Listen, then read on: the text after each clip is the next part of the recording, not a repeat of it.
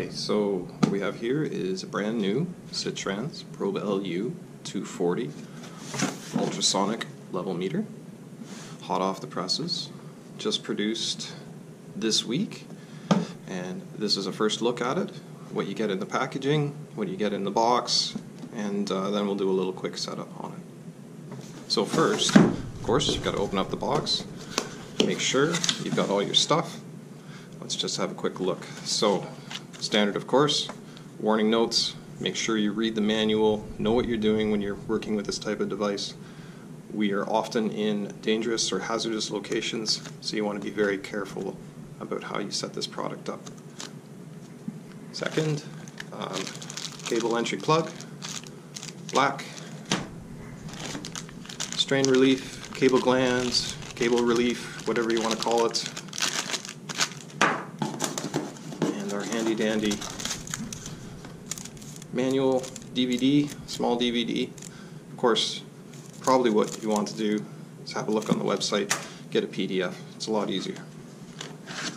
Next, this is the local display. This is an optional display. Of course, this device, if you're just getting started with it, you want to order it with the display. Segmented display, quick four buttons, quick and easy setup.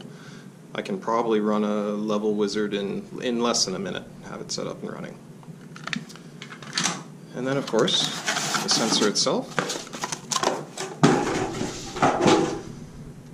So, uh, as its predecessor, Sitrans Probe LU has um, a very active face, threaded connection here, two conduit entries, this is the firmware and the hardware of the first release, so when you start it up, you'll see 1.00.04.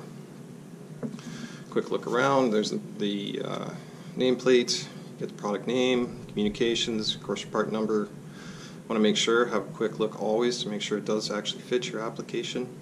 And then of course for reference data, if you've got a QR code reader on your phone, you can have a look there.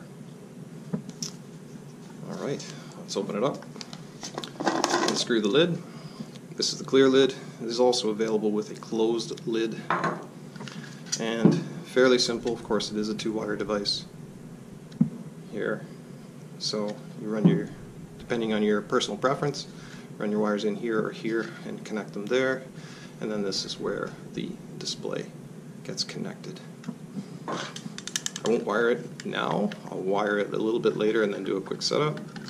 So then you need to, once you've got it wired, of course, plug in your display and then rotate and snap, and then you're pretty much ready to go once you power, apply the power. Siemens, ingenuity for life.